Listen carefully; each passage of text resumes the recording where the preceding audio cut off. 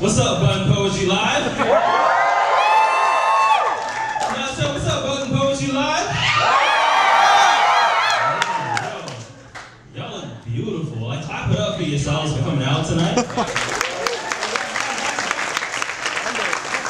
So, um, yo, can I just jump right in? Is that all right? Alright, so throughout these poems, right, if you hear something that, that you like, and you can do a couple different things. You don't have to stay there and be quiet. Like this isn't golf, right? Like um, you can you can respond. So if you hear something that you like, you can do something like you could uh, snap your finger. Let's try together, snap our fingers.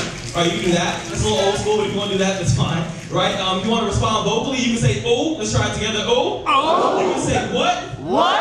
You can say "let's go." Let's go. You also know amen, hallelujah, Jesus take the wheel, who kill him, turn up that's my best friend, like whatever. You know what I mean? Like let's let's have a good time. Are we ready? Alright, here we go. Y'all like to write short poems every now and then, so I'm gonna do a few shorts. Just kind of warm up a little bit. Is that all right? Yeah. Alright, so here we go. Short poem.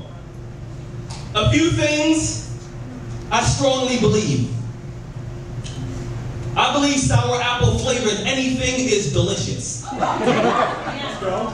I believe orange juice tastes better with pulp. I believe Cinnabon is made by angels.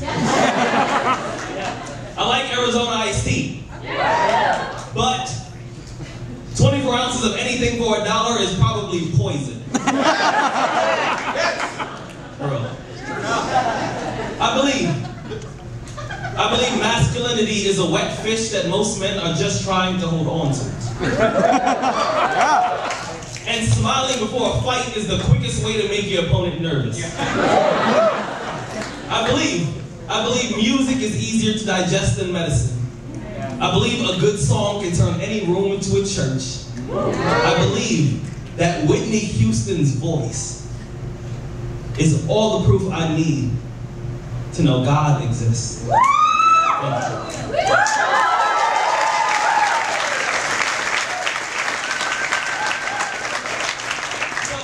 was, in, a workshop and we were given the assignment uh, to write a letter to our bodies.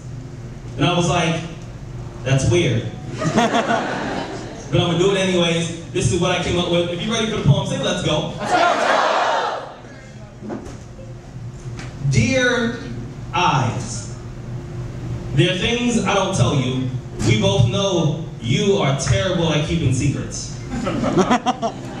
Dear brain, you're a good listener, but you give horrible relationship advice. Dear heart, I trust you. Don't fuck this up. Dear legs, walking is easy. Now pick a destination. Dear feet, some days you are all I have left to stand on. Dear hands, I get it. You like writing poetry, but come on, you can't bring a metaphor to a fist fight, dear fist. You are not always the solution to my problems.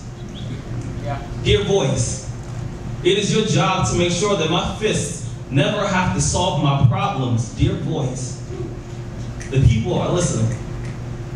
I'm going to close my eyes and let you take over. Say something worth remembering.